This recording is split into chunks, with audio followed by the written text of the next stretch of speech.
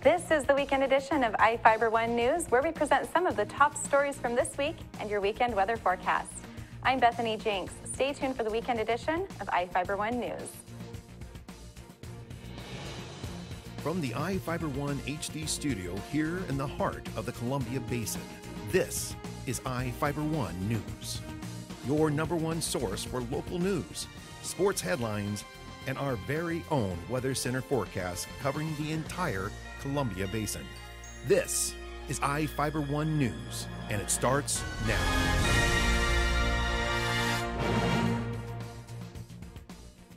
One of our top stories this week was about the fifth annual half marathon and family fun run in Moses Lake, benefiting the Boys and Girls Club. Reporter Cameron Probert has the story.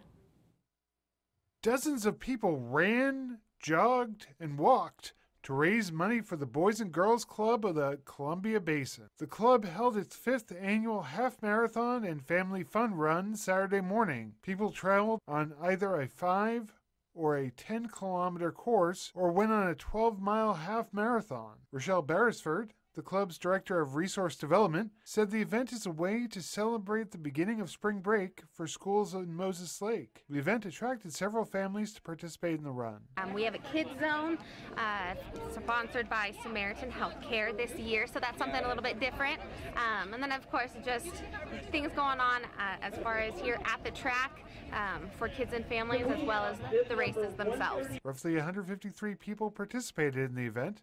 Runners in the five kilometer race travel from Moses Lake High School through the neighboring streets and return to the school. The other courses took their participants further away, with groups moving to Potato Hill Road and to Dune Lakes. Absolutely. You can see lots of smiling faces, so that's really exciting. We see some new faces. Sometimes we see, you know, the same ones, and it's nice when we also have some fresh faces as well. So the event drew some Big Bend students to participate. A group of Japanese students participating in the agricultural training program ran in the event. One of the runners, Nori Takeda, said he's enjoying the program and wanted to run today. Along with the exchange students, the event attracts some return runners each year. We have some dedicated runners here uh, that come out and they support our organization, and of course they're here because they are very good at what they do. Um, I, hats off to them. Um, but yes, so we see quite a few familiar faces each year, um, and then it's also fun to see some new ones too, giving it a, giving it a go. The event is one of several fundraisers the club holds during the year to support its programs. It's, this is what helps fund our programs and to make sure that we're able to have, uh, you know, the facilities and the supplies and materials and resources that we need to be able to run things day to day at the Boys and Girls Club. So this is very crucial to what we're doing as far as at the club um, and being able to help support it and maintain it and, you know, reach out to even more families and kids um, and continue to grow. For iFiber One News, this is Cameron Probert reporting. In Quincy, a group of businesses are planning to install major upgrades at Memorial Park, including new walls to honor people who have served in the armed forces. Reporter Joe Utter has the details. New walls to honor Quincy veterans are planned for Veterans Memorial Park in Quincy. Sabey Construction, an in house construction project for the Sabey Corporation, is leading a volunteer business group to install major improvements at the park located at the intersection with State Route 28 and 2nd Avenue Southeast. Sabey Data Center's president, John Sabey, said since the park was dedicated in 2007, the names of Quincy area residents who served in the armed forces has filled the current walls to capacity. The plan is to add four new walls to hold the engraved nameplates of local men and women who have served in the past wars and are serving now. Plans call for four 80 inch tall, 12 feet long concrete walls as well as new lighting, benches, sidewalks, and landscaping for the park. Construction is expected to begin in mid April and be completed in September for the Quincy Farmer Consumer Awareness Days Festival and Parade. A ceremony is held at the park each year prior to the parade. The project is coordinated with George Washington Post 24 of the Veterans of Foreign Wars, American Legion Post 183, and AMVETS Post 777, all in Quincy. People interested in purchasing a nameplate to honor a veteran or service member can contact the Quincy Valley Chamber of Commerce at 509 787 2140. The cost for each nameplate is $80. Arrangements can be made with the veterans of foreign wars to help with the cost for families of veterans who cannot afford to pay on their own. This is Joe Utter for iFiber One News. And now we take a look at people being sought by law enforcement. This is Sheriff Tom Jones with the Grant County Sheriff's Office. Each of the people you see here have a warrant for their arrest. If you see any of these people, we ask you do not attempt to detain or apprehend them, but call us at 509-762-1160 or send us an email at crimetips at co.grant.wa.us. If the person is presenting a danger, call 911. With your help, we can bring these people to justice and make our community safer. We will be right back after this. Are you prepared to pay your capital gains? I'm ABC's Chief Business and Economics Correspondent Rebecca Jarvis with today's tax tip. 2014 was a record breaking year for U.S. stock markets. Investors who cashed in on all the good times will likely be paying taxes on those gains. Kiplinger's Kevin McCormally. The top tax rate on capital gains is 23%. But there are ways around paying the price. H&R Block's Kathy Pickering says if you thought ahead, you sold some of your losers before the year ended. If you had some gains and then you could also sell some stocks at a loss to offset that, that's a great strategy. Gift wrapping your gains may be a better bet, says Tom Wheelwright, founder of CPA firm Provision. If you give stock, instead of having to pick up the gain and then get a deduction, you don't have to pick up a gain, but you get a deduction for the full value of the stock. So you're not picking up gain and getting a deduction. So it, you get a double benefit. With today's tax tip, Rebecca Jarvis, ABC News. Now for your iFiber One News Weather Center forecast.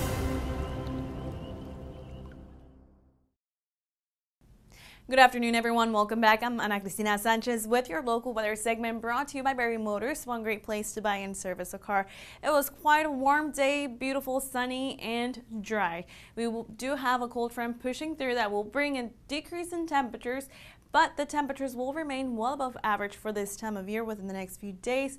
And also, we did break the record high temperature for this time of year today, and we will see some rain in our extended forecast this morning. Low temperatures in the low 50s. The average low for us in Ephrata is 36, and we broke that record high temperature set back in 1996. The record high was 79.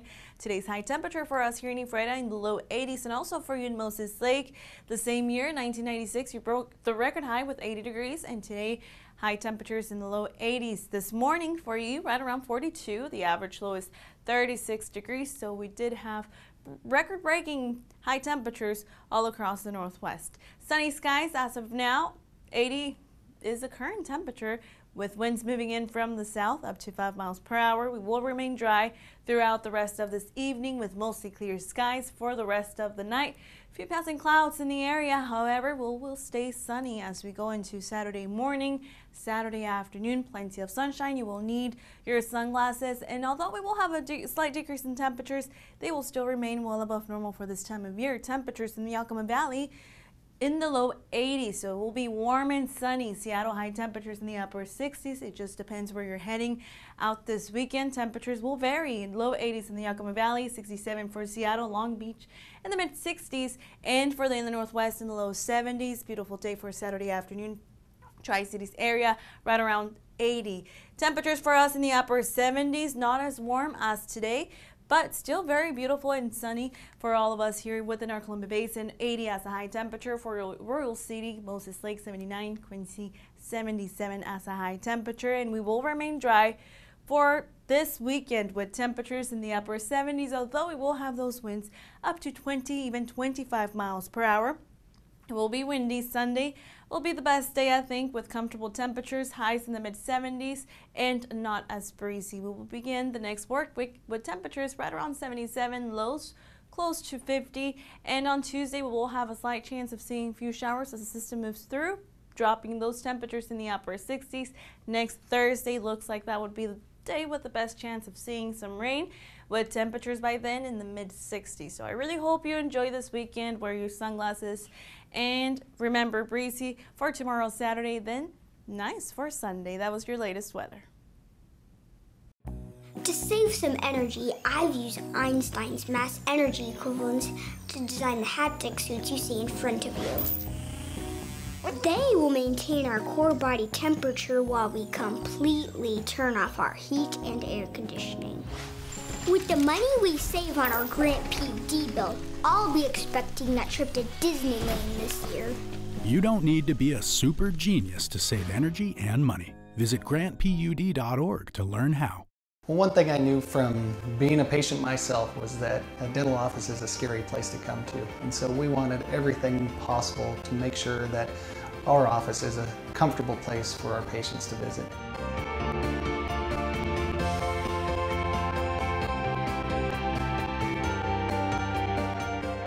Patients that I have, my clients, have made me a part of this community and we want to give back in every way possible.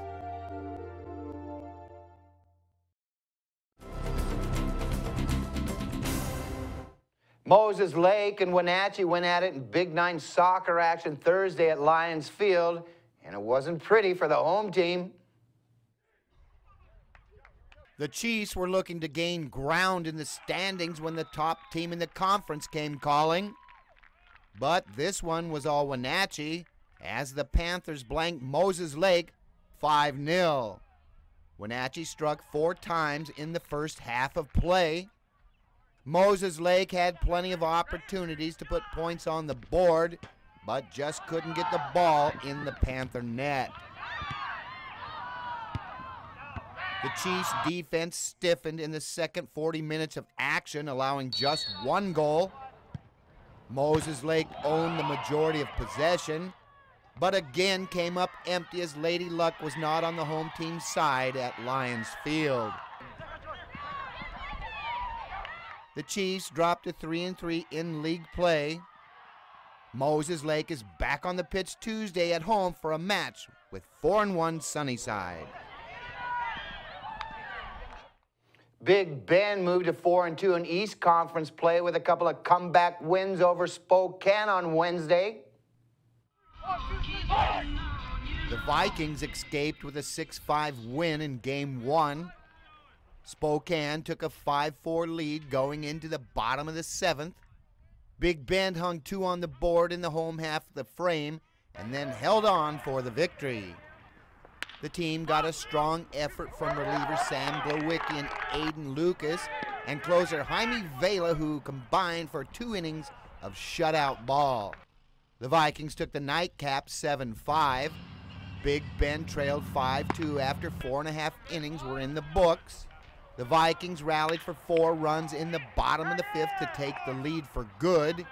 The big hit came off the bat of Blake Springer, who doubled in two. Springer pulled up lame at second and had to leave the ball game.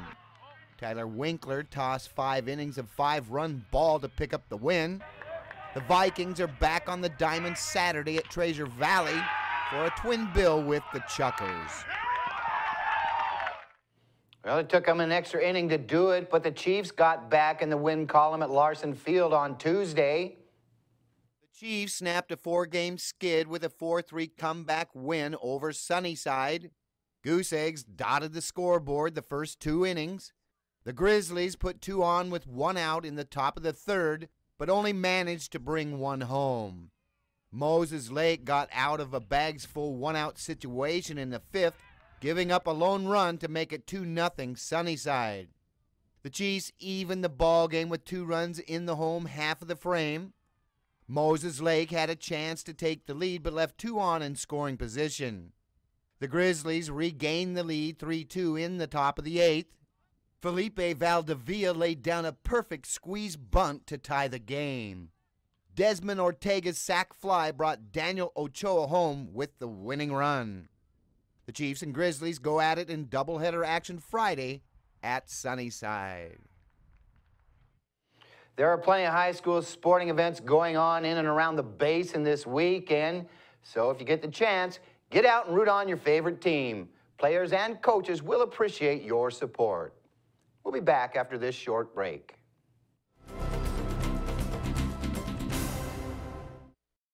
Whether you're looking for a bigger car to support your growing family, a new truck for your business, or something to pull that toy of yours, we've got you covered at Barry Chrysler Dodge Jeep Ram and Ephrata.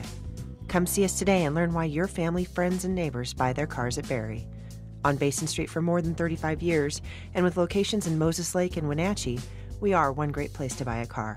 Call or click 754 2411 or berrysaves.com.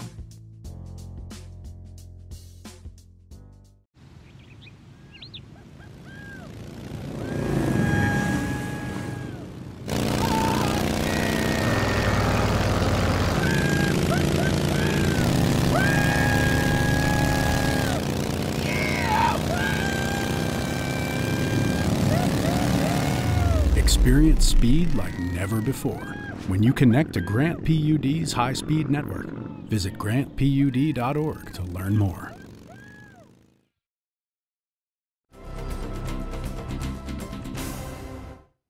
Our next story is about a Moses Lake farmer gearing up for the 2016 crop season. He discusses some of the challenges and how a wet winter should make for a good crop. Reporter Devin Higgins has the story. According to data from the 2012 agricultural census, nearly 1 million acres of Grant County is used exclusively for agriculture. In 2012, more than 1,500 Grant County farms generated about $1.8 billion worth of produce and livestock sold around the world. With the arrival of a new spring, farmers are hard at work putting down crops and caring for them over the next six months to make sure they're ready for harvest in the fall. Moses Lake's Freya Farms is one of the largest in Grant County with an operation taking up thousands of acres over hundreds of square miles. The farm began putting down their 2016 potato crop this week, and manager Travis Meacham talked about the challenges facing it and the many other crops Freya produces. So, pretty excited about the weather this year. We've had good winter moisture. So far, the spring is looking really good, and all that is lining up pretty good. As far as crop wise and price wise, aren't quite as excited. Some of the commodity prices aren't up there. Wheat and corn are off. Potatoes aren't quite where we want to be, but we're still going to go out there and grow a good crop and, and see what we can do. So weather wise, things look great, and but for some of the, the crops, a little concerned. It'll probably take four to five weeks to get all our um, potatoes in the ground and then after that we start planting sweet corn and and moving on to other things we already got all the wheat planted and in the ground this spring so looking in good shape there For most of its history, the land around Moses Lake was considered too bleak and desolate for anyone to live, let alone grow food on any sort of scale. Meacham said the addition of a key element changed all that after the Great Depression and made Grant County a key spot for agricultural production. it's water that's what changed the whole columbia basin. That's what changed grant county is the irrigation project coming down the columbia river.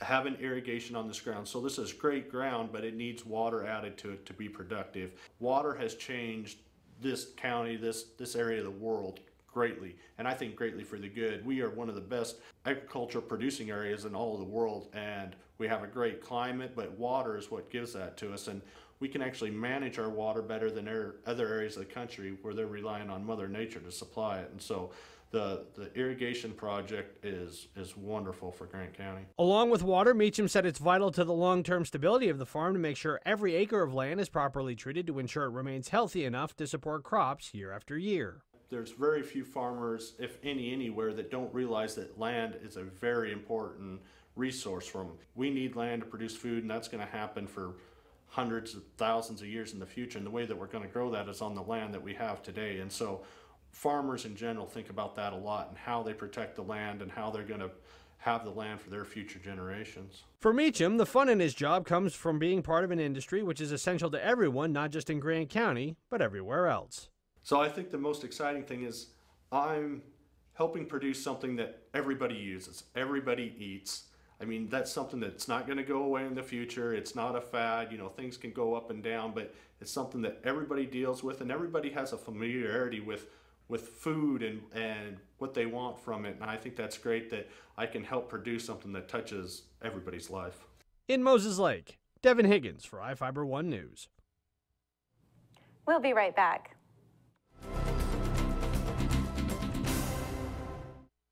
You don't have to drive to Seattle for exceptional cancer care. Confluence Health's cancer program delivers world class care close to home. We have a highly experienced oncology team in a state of the art facility, and we're a member of the Seattle Cancer Care Alliance, which gives our patients access to world renowned therapies developed at Fred Hutchinson, the University of Washington Medicine, and Seattle Children's. Together with the SCCA, we're delivering world class cancer care close to home.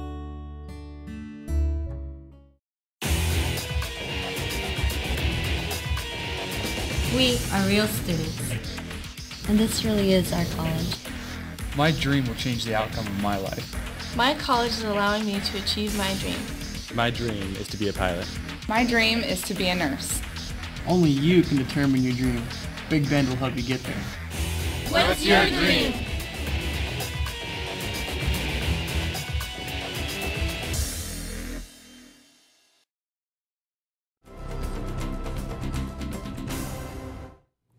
Welcome back. The next story is about an instructor at Big Bend Community College retiring after 43 years with the school. Reporter Devin Higgins has the details.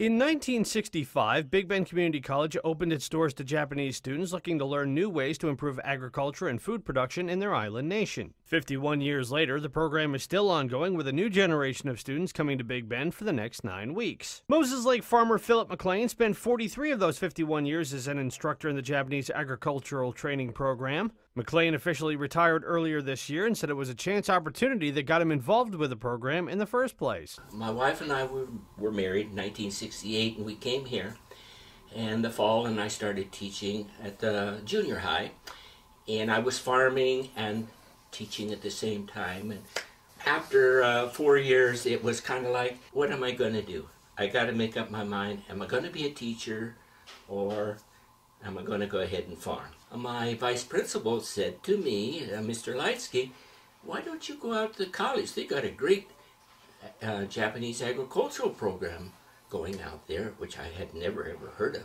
And he said, you should go out there and step in and see maybe it's something that you would love. About 10 years ago, Japanese women were finally able to enter the program, and McLean said they brought a whole new dynamic along with them. One of the other things I've noticed with the ladies who brought a lot of enthusiasm into the program and really did, I think, made the program much stronger. They were very serious ladies, and uh, so the the gentlemen, as I will call them, the trainees, uh, they were forced to kind of buck up and say, "Uh oh, we got some competition in the classroom." Over the years, McLean was able to go to Japan and see his students work in action. And while he's going to spend more time on his farm than on campus, he said he was grateful for the opportunities and experiences he had in his 43 years. There's so many things that, as I look back, I probably should have kept a diary of the many, many different things and experiences. But I have to admit, I did it but uh, just being in the program for that many years, and, and some of my friends would ask me, well, how could you be in a program that long? And I said, you know, it was my choice. And the rewards that I got from that program is the reason I stayed there. The memories that I have of the program, I, I wouldn't even take a million dollars for my experiences. And some were interesting, some were funny, some were a little scary, but overall, uh, my life and my family actually for 40 years has been kind of the Japanese program. In Moses Lake, Devin Higgins for iFiber One News. Rounding out this week's news coverage is a story about the annual Beezley Burn mountain bike race in Ephrata that brought racers from across the Northwest to compete. Reporter Cameron Probert has the story. Roughly 150 bicyclists pedaled across trails on Ephrata's Beezley Hill on Saturday. The city was the site of the 11th annual Beezley Burn Bike Race. The race is part of the Fat Tire Revolution series. The series includes races across the state. Jake Medke, an organizer with the race, said it's the first of the season and the best time of the year for riding on the hill. Competitors started the course near Lions Park and traveled along near the Canal Road, as well as a series of paths on the hill. They go up on the hill and go up and down, uh, ends up about an eight mile lap um, with about 700 feet of climbing. Riders came from across the Northwest, with many of them coming from Western Washington and Spokane. Medke said he was happy with the turnout at the event. For iFiber One News, this is Cameron Probert reporting. That wraps up our weekend edition. iFiber One News will be back on Monday at 5 p.m. with the latest news from around the Columbia Basin. Thank you for watching.